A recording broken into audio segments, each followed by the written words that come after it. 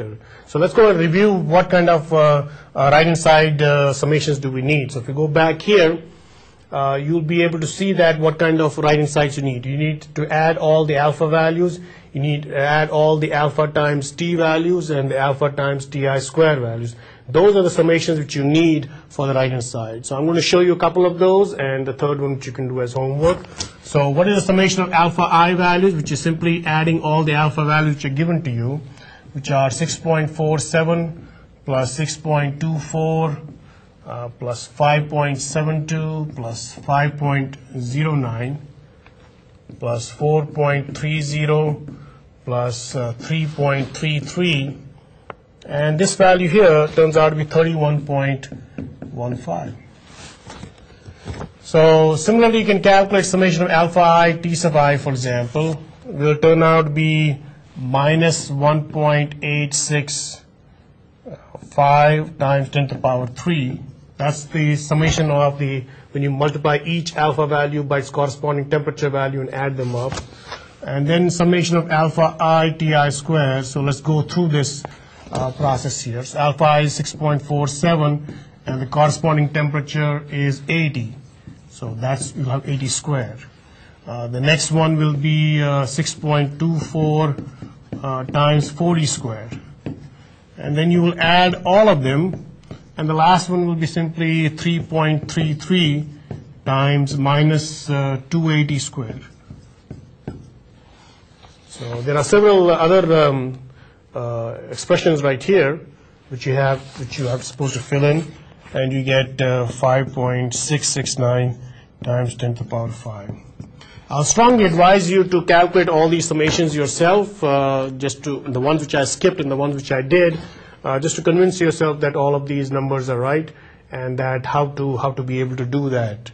Um, so since I've calculated all the numbers, all I have to do is now uh, fill in my coefficient matrix and fill in my right hand side so that I can set up my three equations and three unknowns. So I'll get uh, something like this. Uh, so if you look at this, I'll get uh, five, six here because I have six data points. Summation of t sub i is minus 520 and this one is um, uh, minus uh, no 1.424 times 10 to the power 5 and then I have minus 520 here.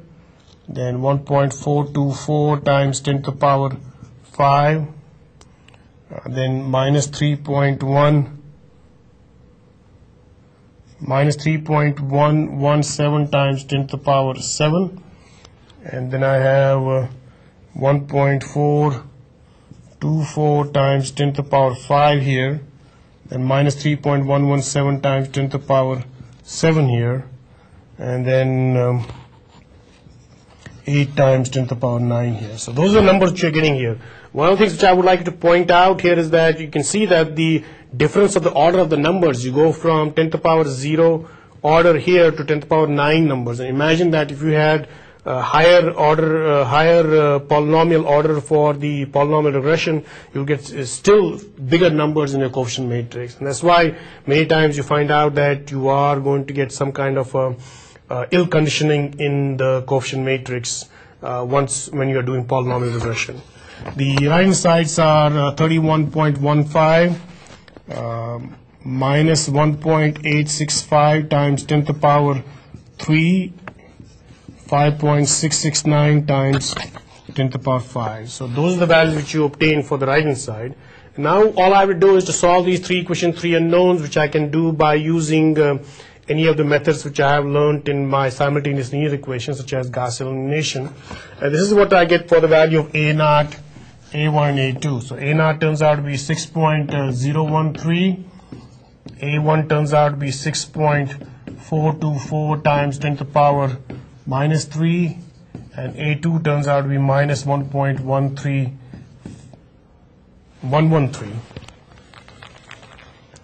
minus 1.113 times 10 to the power uh, minus 5. So what that means is the relationship, the, the polynomial, second order polynomial relationship between alpha, which is the thermal expansion coefficient and temperature, is 6.013 plus 6.424 10 to the power minus, minus 3 times the temperature minus 1.113 times 10 to the power minus 5 times temperature square. So that's the second order polynomial regression model which we have just found out. And we were interested in finding out what the thermal expansion coefficient, coefficient of thermal expansion is at temperature T equal to 70. So I'm just going to put 70 in there. I get 6.013, 6.424 times 10 to the power minus 3 times 70 minus 1.113 times 10 to the power minus 5 times 70 square. And this value here uh, turns out to be 6.408.